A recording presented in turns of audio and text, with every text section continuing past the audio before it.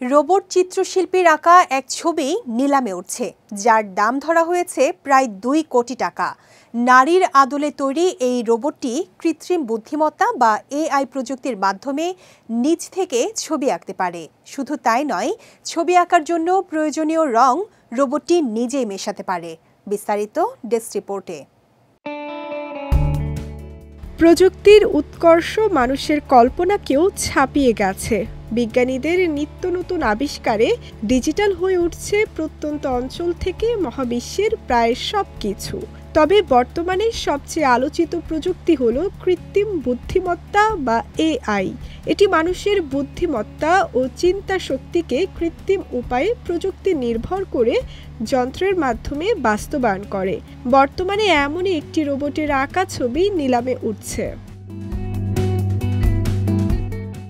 নারীর আদলে তৈরি রোবটটির নাম আইদা রোবট।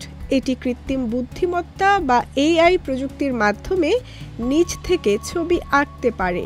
সম্প্রতি কম্পিউটার বিজ্ঞান ও কৃত্রিম বুদ্ধিমত্তার জনক হিসেবে পরিচিত যুক্তরাজ্যের গণিতজ্ঞ অ্যালেন টুরিংয়ের বিশাল ছবি এঁকেছে রোবটটি।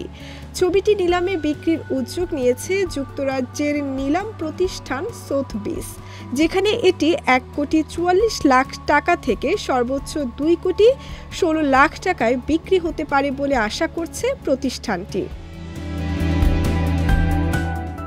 আয়দা রোবটের আঁকা ছবি বিক্রি করে যে অর্থ পাওয়া যাবে তা রোবটটির মান উন্নয়নে খরচ করা হবে। ছবি আঁকার জন্য বিশেষ অ্যালগোরিদম যুক্ত রোবটটির চোখে বসানো হয়েছে ক্যামেরা।